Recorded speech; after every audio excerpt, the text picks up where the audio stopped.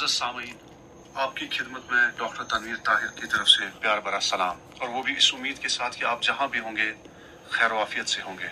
حزب معمول، آج ہم پھر آپ کی خدمت میں حاضر ہوئے ہیں، اور ایک نئی شخصیت کے ساتھ۔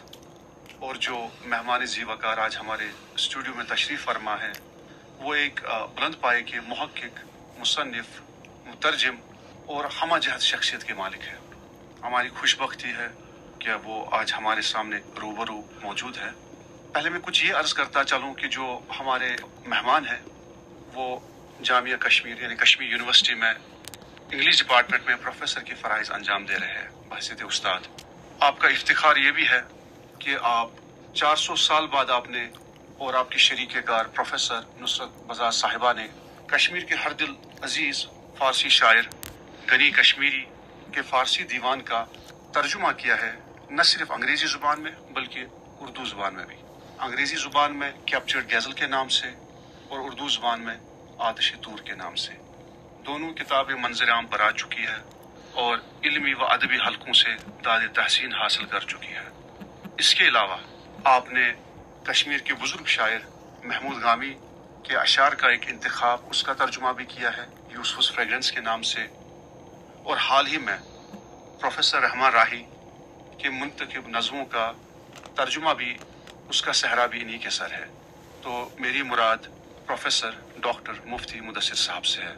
ڈاکٹر صاحب بار دیگر آپ کی خدمت میں السلام علیکم ورحمۃ اللہ وعلیکم السلام ورحمۃ اللہ سر اس گفتگو کی ابتدا آغاز ہم ایک استدا سے کرنا چاہیں گے۔ وہ وہ یہ کہ آپ اپنے علمی اور تصنیفی سفر کے حوالے سے اگر کچھ ہمیں بتا پائے تاکہ ہمارے جو سامعین ہیں وہ مستفید ہوتے۔ جی شکریہ تنویر صاحب۔ میری پیدائش سری نگر میں ہی ہوئی اور یہیں سے میں نے اپنی ابتدائی تعلیم حاصل کی۔ اسکول میرا برن ہال اسکول تھا جو یہاں قریبی گپکار پہ واقع ہے۔ پھر کالج میں امر سنگھ کالج گیا اپنی گریجویشن کے لیے۔ اس کے بعد کشمیر یونیورسٹی کے شعبے انگریزی میں میں نے ایم اے کیا۔ اور اسی اسنا میں وہاں پہ پہلی بحثیت ٹیچنگ اسسٹنٹ تعینات ہوا۔ اور اپنا پی ایچ ڈی بھی میں نے ساتھ ساتھ ہی شروع کر دیا اور اس کے فوراً بعد وہاں پہ مستقل طور پہ میرا تقرر ہوا بحثیت اسسٹنٹ پروفیسر پھر رفتہ رفتہ ترقی ہوتی گئی اور اب کچھ عرصے سے میں وہاں پروفیسر کی حیثیت سے کام کر رہا ہوں۔ سال دو ہزار بارہ میں مجھے ایک پوسٹ ڈاکٹورل فیلوشپ ملی اور مجھے جرمنی کے شہر برلن کی فرائی یونیورسٹی میں ایک سال تک کام کرنے کا موقع ملا۔ اور وہاں پر میں نے کشمیر کی تاریخ کے وسطی دور میں لکھے کچھ فارسی مخطوطات پر کام کیا۔ جہاں تک میری تصانیف کا تعلق ہے تو اب تک پانچ تصانیف جو ہیں وہ منظر عام پر آ چکی ہیں۔ میری پہلی کتاب، جیسا آپ نے پہلے کہا، کشمیر کے مایا ناز فارسی شاعر طاہر غنی کشمیری کے کلام کا انگریزی ترجمہ اور تنقیدی جائزہ تھا۔ یہ کتاب دو ہزار تیرہ میں پینگوئن کلاسک کے طور پہ شائع ہوئی۔ اور یہ پہلا موقع تھا کہ غنی کے کلام کو ایک بین الاقوامی سطح کی پبلشر نے شائع کیا ہو۔ اس کتاب کا نام the captured gazelle poems of Ghani Kashmiri ہے۔ کیپچر گیزل کیوں؟ وجہ تسمیہ اس کی غنی کے خود کا ایک شعر ہے۔ ہر لحظہ از گوش اس خاطر سر جستن دارد معنی تازہ غزالیست کی بستن دارد اس کا مطلب یہ ہے کہ ہر تازہ شعری معنی سر کے گوشے سے اچکنے کی طاق میں ہوتا ہے۔ یہ ایک ہرن ہے جس کو قید کرنا ضروری ہے۔ اس کوشش کی کافی پذیرائی ہوئی، الحمدللہ۔ یہاں تک کہ مغرب کے کچھ یونیورسٹیز میں بھی اس کتاب کو شامل نصاب کیا گیا ہے۔ اس کے بعد، میں نے یہ سوچا کہ جو میرا پی ایچ ڈی کا مقالہ تھا، اس پہ مزید کام کر کے اس کو چھاپا جائے۔ تو میرا مقالہ مابعد جدیدیت کے دو انگریزی ڈرامہ نگار ہیرل پنٹر اور ٹام سٹپرڈ پر تھا۔ تو یہ کتاب بھی شائع ہوئی towards a poetics of post modern drama کے عنوان سے، یہ برطانیہ سے شائع ہوئی۔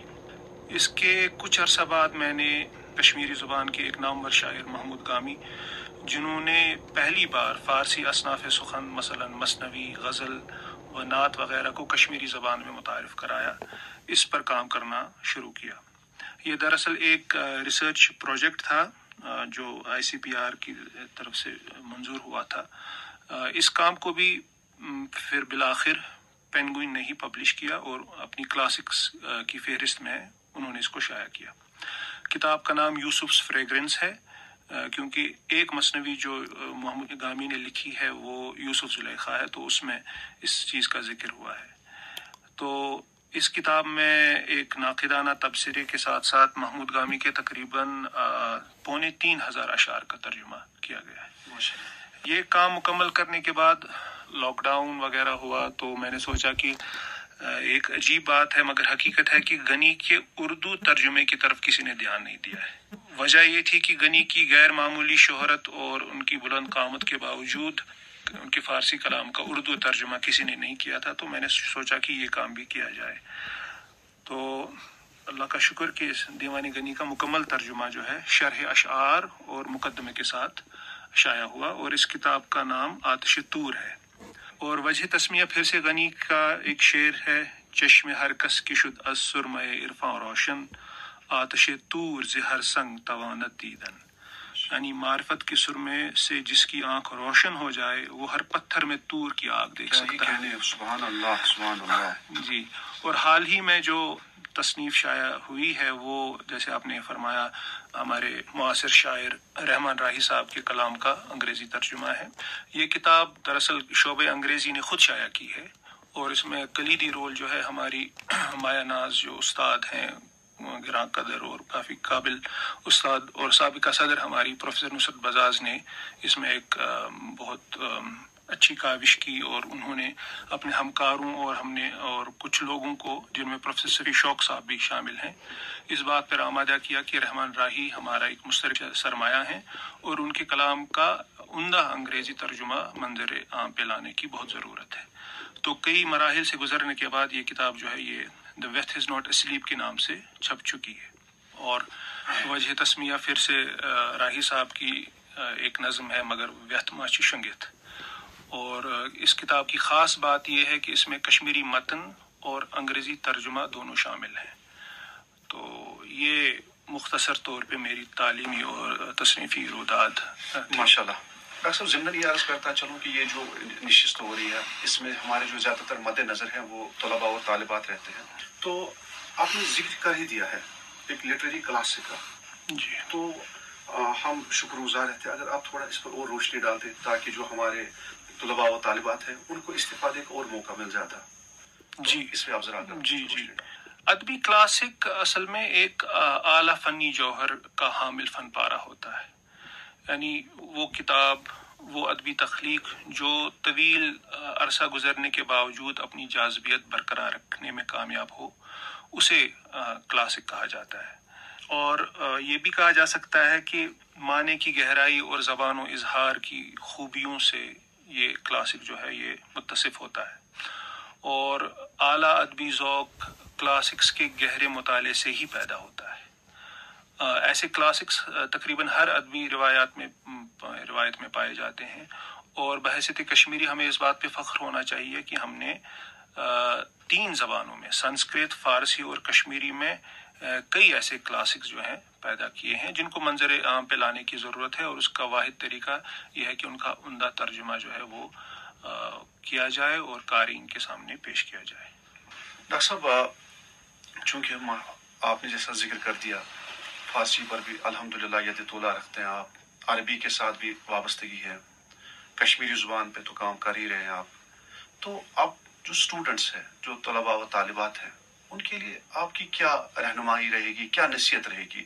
کیونکہ آپ کا شمار جو ہے، وہ تقابلی ادب کے اساتذہ میں ہوتا ہے۔ اگر آپ ان کی تھوڑا رہنمائی کر پائے کہ وہ کیوں لے اس سبجیکٹ کو، یا اس نظریے سے، اس زاویے سے کیوں دیکھے ادب کو، اس پر اگر آپ تھوڑی سی روشنی ڈالتے دیکھیے تنویر صاحب، میں یہ کہوں گا کہ ہماری خوش قسمتی ہے کہ ہم دنیا کے اس خطے سے تعلق رکھتے ہیں جہاں ہمیں بیک وقت کئی زبانیں پڑھنے کا اور سیکھنے کا موقع دستیاب ہے۔ ہمارے بچے کشمیری، اردو اور انگریزی جو ہے یہ تینوں زبانیں آسانی سے سیکھ لیتے ہیں۔ لیکن جہاں تک کسی زبان کے ادب سے مستفید ہونے کا سوال ہے، اس کے لیے اپنی علمی استداد کو ایک نئی سطح پہ لانے کی ضرورت ہوتی ہے، ایک اونچی سطح پہ لانے کی ضرورت ہوتی ہے یہاں محض شدھ بدھ سے کام نہیں چلتا ہے۔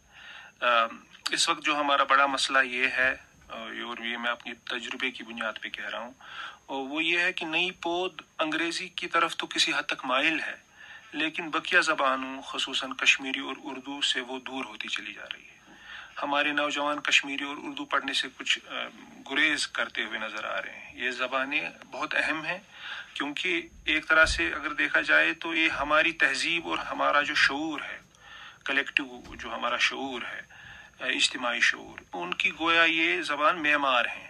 اور ان سے بے رخی برتنا جو ہے وہ کوئی خوش آئند بات نہیں ہے۔ اگر آپ کے پاس متعدد زبانوں میں پڑھنے کی صلاحیت ہو ان کا ادب آپ پڑھ سکتے ہوں تو یہ نہ صرف آپ کے ذہن کے دریچوں کو کھول دیتا ہے بلکہ آپ کی فکر میں گہرائی بھی پیدا کر دیتا ہے۔ آپ تقابلی مطالعہ کرنے پر قادر ہو جاتے ہیں اور تقابلی مطالعہ انسان کی صلاحیتوں کو خوب نکھارتا ہے۔ اس لیے بہت ضروری ہے کہ ہمارے نوجوان لڑکے لڑکیاں جو ہیں وہ خود کو صرف ایک زبان کے دائرے میں محدود نہ کریں، بلکہ دو تین زبانیں جو ہیں، ان کو اچھی طرح سیکھیں اور ان پہ دسترس حاصل کرنے کی کوشش کریں۔ اور اس میں یہ بھی دیکھنا ضروری، آپ نے جو سوال کیا کہ ہمارے نوجوان جو ہیں، وہ شعر و ادب کی طرف کیوں مائل ہوں؟ کیونکہ یہ زمانہ جو ہے، اس کو سائنسی ترقی کا زمانہ کہا جاتا ہے۔ اور ایسے دور میں شعر و ادب کو کس تناظر سے دیکھا جائے؟ تو میں یہ عرض کرتا چلوں کہ پہلے یہ بات سمجھنے کی ضرورت ہے کہ سائنس کے برعکس ادب کا تعلق مادی دنیا سے نہیں ہوتا۔ اور اس کا ایک لازمی نتیجہ یہ ہے کہ ادب ہمارے لیے کوئی مادی راحت کا سامان نہیں، مہیا نہیں کر سکتا یا کوئی نئی دریافت یا ایجاد نہیں کر سکتا جس کو ہم مادی معیاروں پر پرکھ سکیں۔ شعر و ادب کا تعلق جو ہے وہ انسانی افکار، انسانی تجربات اور جذبات سے ہوتا ہے۔ یہ بذات خود ایک الگ دنیا ہے اور ادب جو ہے، ادب آپ کو مختلف افکار و تجربات سے روشناس کراتا ہے، محسوسات کی نئی بصیرت عطا کرتا ہے۔ اقبال نے کہا تھا کہ نگاہ شاعر رنگی نوا میں ہے، جادو۔ تو درست فرمایا تھا۔ اب اس کا ایک فائدہ جو یہ ہے، خصوصاً آج کل کے زمانے میں، کہ تنگ نظری اور تعصب کی جو آفات ہیں، ان سے بچا جا سکتا ہے۔ کیوں؟ کیونکہ آپ کو اپنے آپ سے بظاہر بالکل مختلف انسانوں کے تجربات ان کے اندرون میں جھانکنے کا موقع ملتا ہے، ان کو سمجھنے کا موقع ملتا ہے۔ اور دوسرا فائدہ یہ ہے کہ اعلیٰ ادب آپ کی جمالیاتی حص، جس کو انگریزی میں اسٹک سینس کہتے ہیں، اس کو نکھارتا ہے۔ اور اس چیز کے بغیر انسان کی تکمیل نہیں ہو سکتی۔ اور جب آپ ایک اچھے شعر سے محظوظ ہوتے ہیں، یہ خود اس بات کی دلیل ہے کہ آپ کی شخصیت میں مادی لذت اور مادی تسکین کے علاوہ بھی اور کوئی چیز ہے۔ اور اس میں ایک اور چیز کا خیال رکھنا ضروری ہے کہ ادب ہر طرح کا ہوتا ہے۔ اس میں رتب و یاب اس کی آمیزش آپ کہہ سکتے ہیں، ہوتی ہے۔ اور ہر ادبی کام جو ہے وہ ایک معیار کا نہیں ہوتا۔ ادبی تنقید کا یہاں پہ ایک اہم رول ہے، کیونکہ ادبی تنقید کا ایک مقصد جو ہے وہ معیاری اور غیر معیاری ادب کو چھانٹ کر الگ کرنا ہے۔ ٹی ایس ایلیٹ جو ایک بڑے ناقد ہیں انگریزی زبان کے، انہوں نے کہا تھا کہ لٹری کرٹیسزم کا ایک مقصد کریکشن آف ٹیسٹ ہے۔ یہ کریکشن آف ٹیسٹ کی عبارت جو ہے، اس کا مطلب یہ ہے کہ تنقید کا جو ایک مقصد ہے، وہ شعری ذوق کی اصلاح ہے۔ کیونکہ اگر ہر طرح کا ادب پیدا ہو ہو اور لوگ پڑھنے لگے تو اس بات کا عین اندیشہ ہے کہ ان کا جو ہے، وہ مزاج اور ذوق جو ہے، وہ بگڑ جائے۔ تو ادبی تنقید، جو اچھی معیاری ادبی تنقید ہوگی، اس کا کام یہ ہے کہ وہ اس شعور کا اور اس ذوق کی اصلاح کرے۔ میرا ذاتی خیال اس میں یہ ہے کہ ہر اعلیٰ اور ہر عمدہ فن پارا جو ہے، اس کی اساس ایک اعلیٰ فکر پر ہی رکھی جا سکتی ہے۔ اب یہ فکر کہاں سے، یہ مستعار لی جائے گی؟ ہاں مستعار لی جا سکتی ہے۔ یہ فکر یا خیال جو ہے، فلسفہ، مذہب یا ادیب، شاعر کی ذاتی تجربے کی پیداوار ہو سکتا ہے۔ لیکن ایک اچھا شعر یا ادبی تخلیق تب وجود میں آئے گی جب اس فکر یا اس خیال کو شعر کی صورت دی جائے۔ کوئی اعلیٰ فکر بذات خود جو ہے، وہ اعلیٰ ادب نہیں بن سکتا جب تک کہ اس کو ادب یا شعر بنایا نہ جائے۔ اور اس میں بڑے بڑے شعراء نے جو ہے وہ دکھایا ہے کہ ایک خیال کو کیسے آپ ایک شعری حیت دے سکتے ہیں۔ مثال کے طور پر غالب جب کہتے ہیں کہ رو میں ہے رخش عمر، کہاں دیکھیے تھمے، باغ ہاتھ میں ہے نہ ہے رکاب میں۔ تو کہنا یہ چاہتے ہیں کہ زندگی کا کوئی بھروسہ نہیں ہے۔ مگر ایسے نہیں کہہ رہے ہیں، اس خیال کو استعاروں اور پیکر تراشی کے ذریعے، ایک بھاگتے ہوئے گھوڑے کی منظر کشی کے ذریعے کس خوبی سے ادا کرتے ہیں؟ تو ان چیزوں کا خیال رکھنا ہوگا اور جو ہے وہ پھر جو فرق جو ہے شعر اور غیر شعر میں وہ واضح ہوگی اور پھر آگے کے مراحل جو ہیں وہ آسان ہوتے جائیں گے۔ ماشاء اللہ ڈاکٹر صاحب ڈاکٹر صاحب ضمن ایک سوال پوچھنا چاہیں گے آپ سے۔ عالمی سطح پر بہت ساری یونیورسٹیز ہیں جیسے کولمبیا یونیورسٹی ہے یا باقی عظیم علمی ادارے ہیں جہاں پر تقابلی ادب کے حوالے سے الگ شعبے قائم ہوئے ہیں۔ کیا آپ محسوس کرتے ہیں کہ ایسا ایک شعبہ جامعہ کشمیر کشمیر یونیورسٹی میں بھی ہونا جی، چاہیے؟ بہت اس چیز کی بہت اہمیت ہے کیونکہ میں ذاتی طور اس بات کا قائل ہوں کہ جب تک آپ ایک سے زیادہ ادب کے ساتھ منسلک نہ ہوں اور اس میں وہ ادب پڑھنے اور اس کو سمجھنے کی صلاحیت نہ رکھتے ہوں، تب تک آپ صحیح معنوں میں ادب کی خدمت نہیں کر سکتے۔ یا اگر آپ کر بھی لیں تو اس کا جو دائرہ ہے وہ بہت محدود ہوگا۔ تو کافی ضرورت ہے، جیسے میں نے کہا کہ ہم، یہ خدا کی طرف سے ایک انعام ہے کہ ہمیں اس میں کچھ زیادہ محنت کرنے کی ضرورت نہیں ہے۔ خود بخود ہم تین چار زبانیں جو ہیں وہ آسانی سے سیکھ سکتے ہیں۔ مگر پھر ایک ایسی سطح یا ایک ایسی استعداد پیدا کرنا اس کے لیے ذاتی محنت کی ضرورت ہے۔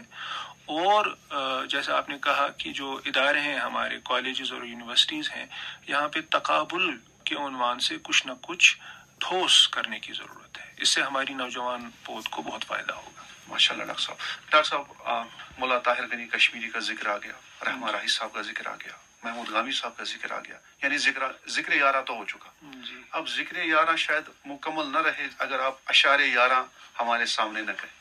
اگر آپ کچھ اشار ہمارے گوش گزار کریں تو ہم تہ دل سے آپ کے ممنون و مشکور رہیں گے۔ جی یہ میں طاہر غنی کی جو شاعری ہے یہ غزل ہے۔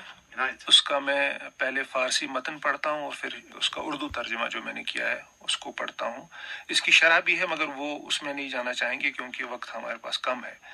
تہی کن اے دل از پرورد خود زود پہلو را کہ آخر نافتا کشتن بود ہم راہ آہو را۔ ترجمہ یہ ہے اے دل جسے تو نے پالا پوسا ہے اس سے جلد کنارہ کش ہو جا۔ کیونکہ نافا تب تک ہرن کے ساتھ رہتی ہے جب تک اسے موت کے گھاٹ نہ اتار دے۔ نگردد شیر من مشہور تاجان در تنم باشد کہ بعد از مرگ آہو نافا بیرون می دہد بورا. سبحان اللہ میری شاعری شہرت سے تب تک محروم رہی جب تک جان میرے بدن میں قید تھی۔ ہرن کی موت کے بعد ہی اس کی نافع دنیا کو معطر کر دیتی ہے۔ کیا ہی کہنے جزاک اللہ ز آسب صبا آسودتا صبح ابد باشد۔ کنت شم از پر پروان اگر تعویز بازو را۔ اگر شمع پروانے کے پر سے ایک تعویز بنا لے تو صبا کی بلا سے قیامت کی صبح تک بے پرواہ ہو کر جل سکتی ہے۔ کیا ہی دقیق شعر ہے۔ بنرمی جان ز دست سخت گیران می توان بردن به زیر تیغ هرگز کس نگیرد خامه مورا نرمی اختیار کر کے ہم سخت گیروں کے چنگل سے اپنی جان بچا سکتے ہیں۔ منہ قلم کبھی تلوار کی دھار سے جکڑا نہیں جا, جا سکتا۔ کیا ہی کہنے سبحان اللہ سبحان اللہ۔ کند در پیش آن پائے نگارین سجدہ زلفش بلی کاری بحض آتش پرستی نیست ہندو را۔ اس کی زلفیں ان منقش قدموں پر بے شمار سجدے کر رہی ہیں۔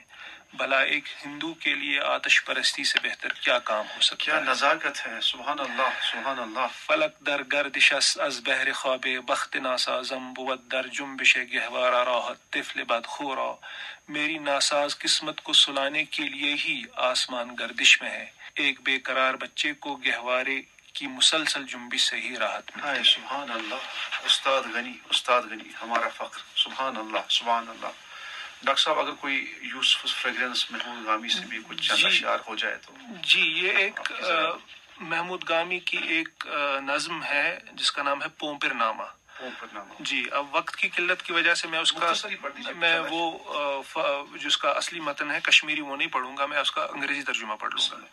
اس کا ٹرانسلیشن میں نے کیا ہے دا موت اسٹیل تو یہ جو موت ہے جو جو پروانہ ہے یہ اس شمع کے ارد گرد گھوم کر پھر اس میں کود کے اپنی جان اس پہ یعنی قربان کر دیتا ہے عاشق معشوق کے لیے اپنی جان کو قربان کر دیتا ہے مگر اس سے ایک بڑا شعری معنی گامی نے تشکیل دیا ہے the moth has great fame as the lover with a fiery soul glimpsing the candle his heart kindler he sets himself aflame one day some flies pestered him tell us your love secret give us a name or a clue at least who has stolen your heart What have your eyes seen?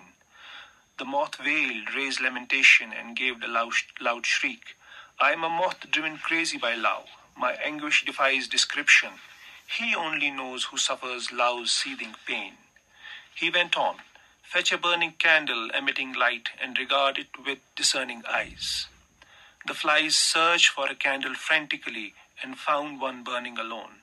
They pledged their love and fluttered around its flame, but flinch from flinging themselves into its devouring fire. Alas for those who set out in earnest but leave the journey halfway. Such stragglers only bring shame to the, lo- to the lovers.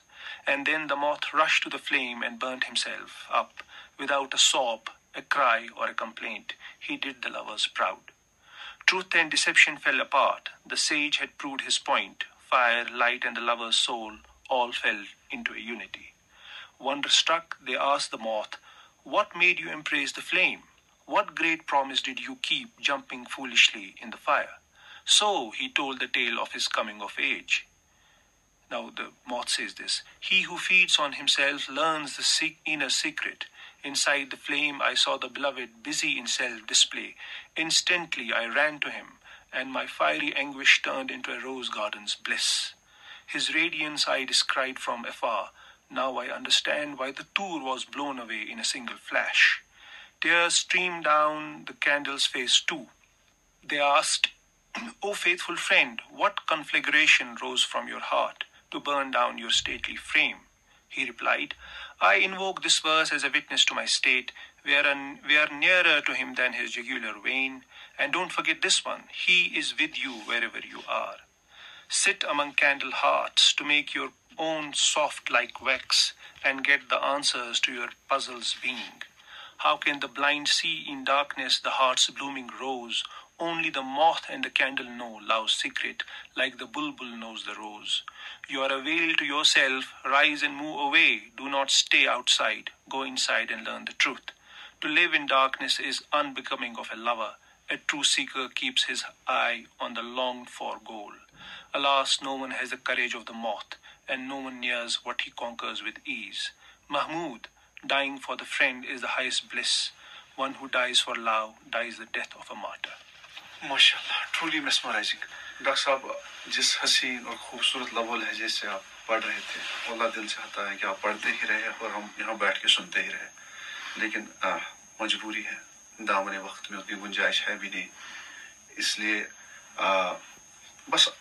مختصرا، آپ سے آخر میں ملتمس رہیں گے کہ ہماری جو نئی نسل ہے، آپ کے اپنے شاگرد ہیں۔